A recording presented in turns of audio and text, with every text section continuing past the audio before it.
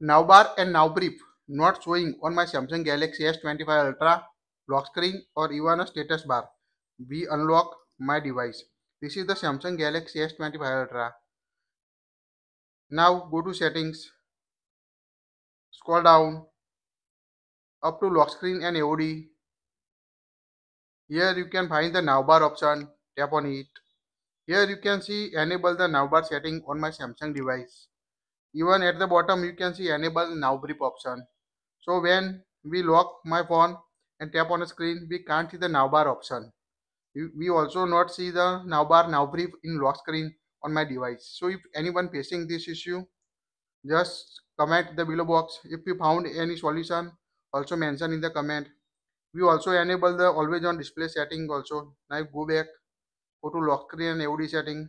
In always on display, we also enable the show now bar option here you can see the toggle on the show now bar in always on display.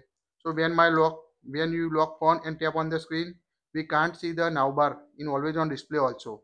So if anyone facing this type of issue please comment in the below box. And if you found any solution also mention in the comment. This is my samsung s25 ultra. That's it